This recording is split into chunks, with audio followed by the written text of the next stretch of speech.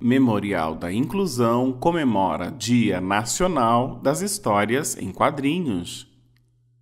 No dia 30 de janeiro, é celebrado o Dia Nacional das Histórias em Quadrinhos, e o Memorial da Inclusão não podia ficar de fora da celebração.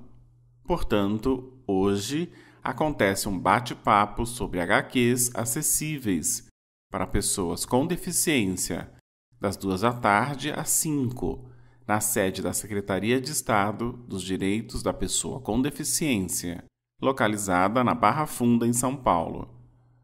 Ao longo do evento, também será ministrada uma oficina em que os participantes aprenderão a produzir histórias em alto relevo com papel e a fazer audiodescrição para as pessoas com deficiência visual.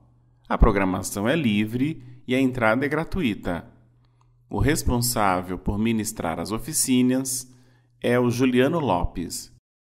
O dublador é o criador do audiodrama brasileiro Sentinelas, o desenvolvedor Cássio Santos e a quadrinista e ilustradora com deficiência auditiva Ju Loyola também estarão presentes no evento.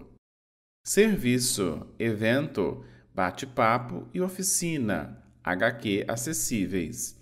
30 de janeiro, das 2 às 5 da tarde, no Memorial da Inclusão, sede da Secretaria de Estado dos Direitos da Pessoa com Deficiência de São Paulo. Avenida Auro Soares de Moura Andrade, 564, Portão 10, Barra Funda, São Paulo. Entrada gratuita.